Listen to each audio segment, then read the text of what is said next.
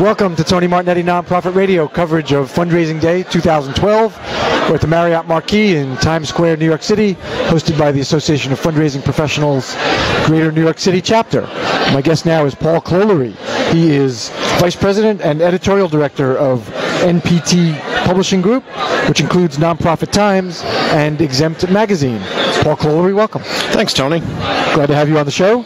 It's quite a crowd here. I think we're going to do a dunking booth next year.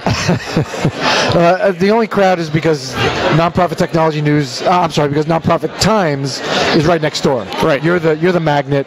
We're the we're just in your pocket. and people just throw things at me, so it's a lot easier. Well, because you uh, you reject their pitches routinely, right? But uh, but you're in a nice way, I'm sure. No doubt. Um, you you uh, are seeing some trends in uh, in events. Uh, they're getting bigger. They're getting costlier. So say a little about that. Well, what we've been seeing lately, not just in New York, but around the country, it seems like events are coming back strong this year, and the ticket prices are going up. I know in New York City, for example, a lot of organizations were trying to keep their events under $1,000 for the big gala. Now they're routinely at a 1000 or more. And we're seeing that in the, just in the past four to five months, people are really starting to uh, realize that there's the economy is getting better, at least here in New York, and for the people who would frequent these types of events.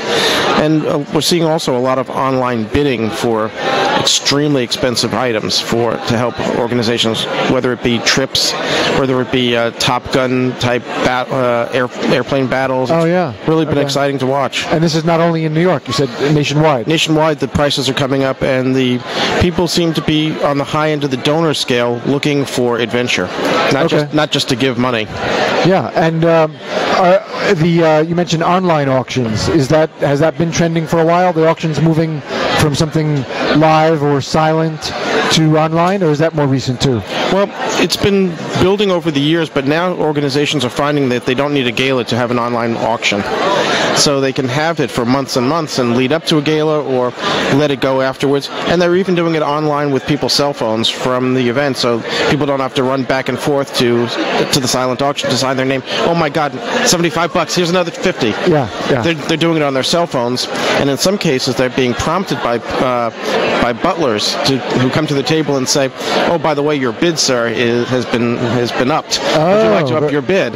oh, And, interesting. Yeah, so organizations are finding lots of different ways to uh, to get the bidding going. That seems pretty sophisticated. Your, your online bid has been has been challenged. Uh, would you like to would you like to reply? Exactly. Yeah. Okay. And so, all right. So, since we're talking about um, technology, I have the current issue of Nonprofit Times. It's a publication that you're somewhat familiar with. A little bit, yeah. 18 years as uh, editor in chief. Yep. Future of technology donations is cloudy. What what's happening around just around mobile giving? Well, technology in the cloud. Um, organizations are were so used to going to Gifts in Kind International or NAIR or some of the other pass-through entities where nonprofit organizations, uh, I'm sorry, for-profit companies like Microsoft or some of the other vendors in the industry would give product and then it would pass through to the, the, the charities. It would be a donation, gift in kind. Well, the charities were used to getting the box. You'd say, "Oh, I want Microsoft Office," and they would send you the box. Right. Now it's all online, so everything is moving to the cloud, particularly uh, uh, with when it comes to technology donations of, Oh, of okay. software. I mis. I misread your headline. I thought uh, okay. See, uh, Going it's to the an- cloud. It's an ambiguous headline. Uh, who wrote the headline? It's Hey, it's ambiguous. in, it's in quotes. it's in quotes. It's a cloud Well, technology. Cloudy is in quotes. Oh, I see. Future of technology. So I misread it to think that it was mobile give or was giving. Okay. Um, so wh- what what can charities be asking for now from Microsoft, etc.? Well, what we're seeing, the, the products will stay the same. The difference is they're now selling site licenses or, or licensing s- seats rather than giving away the software. Okay. And what we're seeing now is a lot more will have to be spent probably on the side of putting it together in your office, uh, needing to uh, have a specialist in house to craft the technology so that it works best for your organization. Nothing's in a box anymore. Everything right, is okay. can be handcrafted. Everything can be uh, manipulated to what you need it to do. And there are so many bells and whistles these days from the various online vendors that, and the technology vendors that you can craft a piece of software or or a piece of technology now. You're not getting the software Yeah, to, yeah. to do anything that you needed to do. Okay. And so and so some of that consulting is available. Oh yeah, and that's and that, that's where it's going to start getting expensive, because the consultants are not free. The software was always free. Yeah. The consultants were never free. Okay. And now when you download the software and you now have to configure it to your systems and and what and have it work with what you're doing, that's now it's going to start getting expensive. Do you uh, well? Do you see the companies donating that consulting service as well? Uh, seeing Uh-uh. any of that? Oh, no. Oh, no. No, no. Okay, not going that far. Okay. Um, beneath that one, let's see if I can read this one appropriately. Okay, I'll just read it. Vegas draws youths looking for meaningful relationships. Uh, meaningful relationships in Vegas. What? These are not. These are not the by the hour relationships. Well, no. The, Oh, you know, I forgot to tell you to take that uh, gross thing off. Uh, it just it reflects. That's all. It's not gross. No, the AFP name tags are beautiful, but they reflect in our lights. Um, what about Vegas youthful relationships? well, they're hoping what happens in Vegas doesn't stay in Vegas. Okay. The whole point is to bring kids into um, a, youth, um, a, a, a, friendly setting, a familiar setting, someplace that's a little bit exciting, and maybe they'll bring some of the what they learned back into their communities. The, in in this case, we're talking about Jewish community organizations, where they have been seeing some waning in youth development, in youths going back to their communities and building um, the Jewish community centers and, and whatnot. And what they're trying to do is bring folks into a, an exciting place like Vegas, hoping to build those friendships, helping to build those connections so that they can bring it back to their communities and help to build the next generation of Jewish communities. Okay. And uh, are you are you familiar at all? And if you're not, it's fine. Um, with the trend generally around youth engagement, is, is it declining generally, or I know this was just about the, the Jewish community organizations. Well, there's been a whole na- push for national service, and then not and not just community in your community, but nationally and internationally. Uh, I think it's next week, uh, either the next week or in the next two weeks. The National Service Conference is going to be out in Chicago. I mean, tens of thousands of people going to talk about how they can serve their communities better. It's a terrific conference put on by the Points of Light Institute, uh, Corporation for National and Community Service, and they bring volunteers and volunteer managers in from all over the world actually to talk about how they can make those connections in their community. And it's really starting to build. National service is no longer a buzzword. But but had we had we been seeing youth engagement declining? Well, no, I mean it's starting to build now. Because It's building now, It's building right. now in the last five or six years. Okay. Um, you you really start because kids had to do it for their college transcripts. Oh, okay. But now you're seeing more and more kids getting engaged. You're seeing the Occupy Wall Street kids. Uh, you're seeing a lot of youth engagement across the country. And national service is really becoming an important aspect of what kids do these days. Okay, I'm going to switch to another publication that you're uh, acquainted with, Exempt Magazine. I've seen it. And oh, and by the way, the Nonprofit Times issue I was referring to was June 1st of this year. Um, the Exempt Magazine, uh, bright, bright lights and big stars, uh, challenge. Um, charities are reaching out to celebrities more. You're seeing more of this now.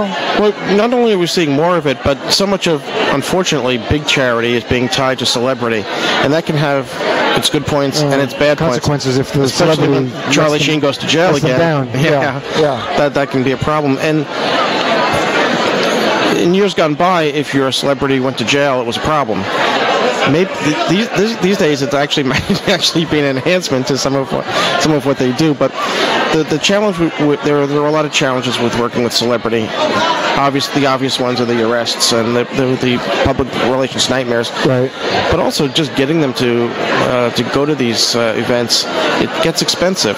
Oh, John Doe is going to show up for free, but he's got an entourage. He's got to pay. You've got to pay for it. Wow. You've got to pay for the first class flight. You've got to pay for the first class hotel, and it, can get very expensive. There are some celebrities who are salt of the earth human beings, like George Clooney. He will do anything you want. If he signs on, he's there and he's there for free. And that doesn't mean a first class room. He'll buy his own room.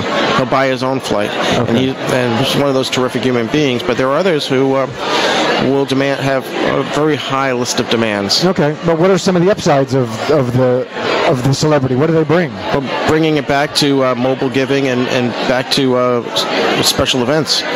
You can pack a room with Lady Gaga. and the Robin Hood Foundation here in New York City did that just the other day. They, I think they, I think, think the number was 87 million dollars that they raised. Uh, in that event, holy cow! You, in one so, night. So they had they had Lady Gaga at their Right. at their gala, and they raised 80, 87 million dollars. yeah, it was about 80 million bucks. Yeah.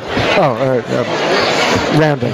Um, But the, but the amazing thing about it was they had Lady Gaga and Martha Stewart in the same room, and nobody got hurt they play nice together. Oh, at least in public. in public. I see uh, a column. Uh, is this a regular feature? Human resources, donor diversity. What what what are we seeing around donor diversity and human resources? Did, I scare you? Do you want to read it up first? And no, no, no, no. Should I pause? The- the- okay. look like a little. You have to little realize that. I'm, I'm working on seven Okay. different issues at one time. Not only do we have the print, but we've got five e-letters. So sometimes the, All the right. mental Rolodex it takes a while to go back and Okay. remember what we did because that that actually came out back in February. So, Oh, okay. so I'm already working on September. February is when you worked on it. Yes. All right. Can you say anything about donor diversity? Yeah, uh, we're nonprofits are working very, very hard to move the donor base to broaden the donor base. I mean, for years and years, the, the backbone of the, the giving was done by white females in their 70s who would get a, a piece of mail and said, give to the Red Cross or give to the Salvation Army or give to whomever, and they would dutifully write a check. Well, it's time for charities to start broadening that, that, that base. And we're seeing in communities of color, uh, ethnic communities, more and more nonprofits going into those communities and trying to reach in and trying to broaden their appeal to those communities. Because every poll that you've ever seen is when you ask somebody why they gave, the, answer is because you asked. Nobody's asking in those communities. For years and years and years, nobody asked in those communities. So now charities are finding ways to ask within those communities and are building out the diversity of their of their donor base. Okay. Um, and in the uh, exempt magazine issue I was referring to is uh, June, July of uh, June, July of 2011. This says That was last year's, yeah. this is last year. Oh, it was on your table today. We got we have a lot of things over there. It's a good thing we didn't dig too deep. We would have found 2006, and then I really would have put you on the spot. Well, you would have found Jimmy Hoffa too. All right, we went back a year. What's uh, what's in the pipeline? What's coming up? Uh, we're doing a terrific piece on the next cover of Exempt on uh, the border wars and the, uh, the Mexican drug wars and what the impact that they're having on charities along the Texas and Arizona border. What are you seeing there? Danger. There are a lot of people who are coming across the border for medical help, medical care. Social human services organizations are just strapped along the border because people are coming across seeking help and just trying to get out of the out of the, the massacres that are going on just 100 yards over the border. And then the legal issues of, of serving that population and treating that population. Uh, Well, the, the, the, legal issues are not so much the treating of them. If they show up at your doorstep, if they show up at a hospital, they will be treated. The question Okay. becomes, then it becomes dicey about the immigration status, and it, does immigration get called? And that's a whole other bag of worms that they're, they're, dealing with right now. But right now, they're dealing with the money issues because they're coming, people are coming across the border need to be treated. They need to be fed. They need to be housed because there's a war going on in their community, and you can hear the gunshots at night. yeah, yeah. Okay. What else? What else coming up? Uh, coming up, we have the Power and Influence Top 50 coming up. Uh, we 15th annual NPT Power and Influence Top 50. That's the August one issue. Okay. Um, every year we we announce who the 50 most influential people in the sector are. I'm not on the list, incredibly. Um, Am I? uh, no, Tony, sorry. Not yet. Not But- yet. but- but There's still time. It doesn't come out till August. Yeah, but I'm the editor of the publication, and I don't get on the list. Okay. So uh, we've got right, we both got screwed. and w- w- there's the we have a gala for the the, the nominees or Okay. the, in Yeah. September, Are and it's going to be an interesting list again this year. Are these all people working in charities, or are they philanthropists giving to charities, or both, or what? Neither. Uh, they have to be executives working in the charity Okay. at the time Okay. that we, ha- we the, the issue comes out. So they have to be working in the charity August one, when the when the list comes out. Okay, and they're nominated by their organizations. No, we have a kitchen cabinet. How does this work? Uh, Explain. We have. We've been doing it for 15 years, so about January, first week in January, second week in January, a letter goes out to all the former winners. It's that, okay, who did we miss?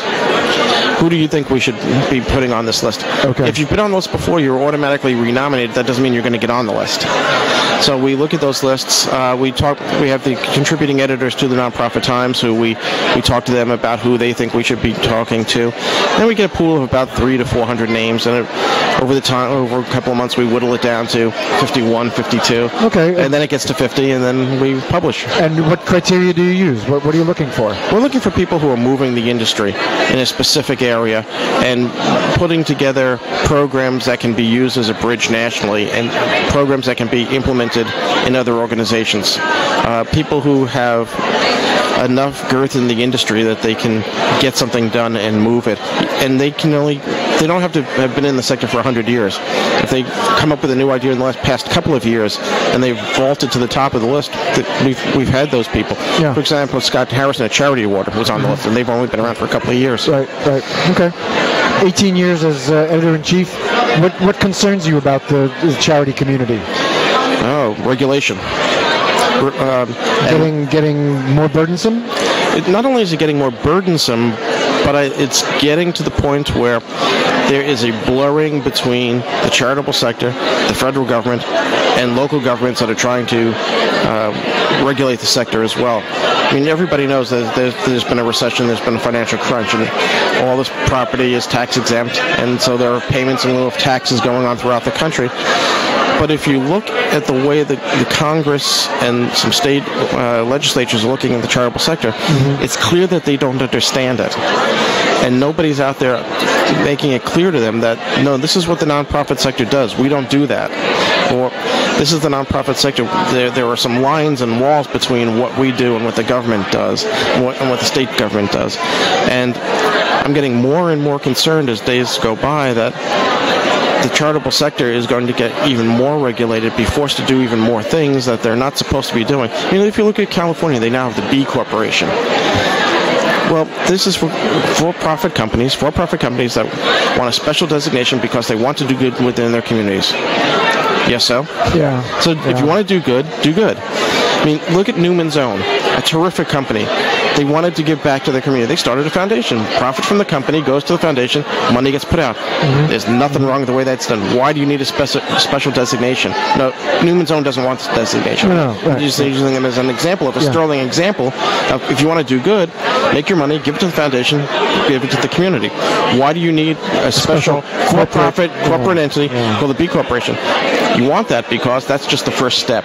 Then the next step, five years from now, is going to be, oh, maybe we should get some tax exemption on the property that we have, or maybe we should get Oh. some relief on the payroll taxes that we're paying for the people who work in our companies because we do good To the all. extent that we're doing good, we Yeah, deserve uh, yeah. a proportional break in taxes, etc. Oh, very interesting. So Uh, that's that's the real danger that I see. Okay, okay, we're going to watch that. Thank you. Paul Clolery is Vice President and Editorial Director of NPT Publishing Group, which includes, as we talked about, Nonprofit Times and Exempt Magazine. 18 years in the post. Paul, it's a real pleasure. Thanks, Tony. Thanks for being a guest. This is Tony Martignetti Nonprofit Radio coverage of Fundraising Day 2012, hosted by AFP, the Greater New York City chapter.